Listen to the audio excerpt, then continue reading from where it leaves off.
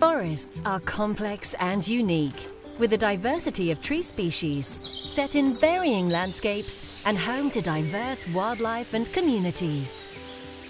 They evolve over time, so when we create a forest plan, we think beyond a lifetime and follow a structured process that details a plan for the next 10 years.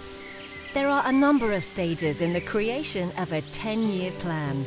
We start by reviewing the previous plan and checking the current condition of the forest. We look at previous policies and challenges and how they were applied and balanced against the natural potential of the land. From this, we can begin to identify the key issues to be addressed by the new forest plan. This analysis helps form the vision for the forest.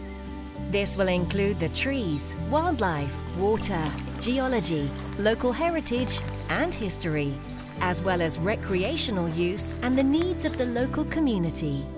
We consult with experts and carry out fieldwork to discuss all possible options in the plan. We then firm up the forest plan, identifying specific prescriptions to deliver the objectives and map it using specialist software. When the draft plan has been created, we place it online for public review, so everyone has the chance for their views to be considered and any necessary adjustments are made. Before being implemented, the plan has to be approved by the Forestry Commission, the regulatory body acting on behalf of the government.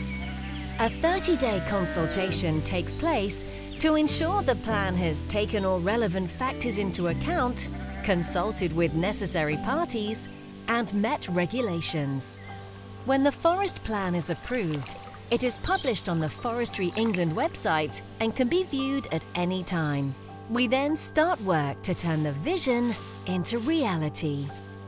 After five years, we carry out a review to check if the forest is evolving in line with the plan and evaluate if anything has changed that might affect what we do in the next five years.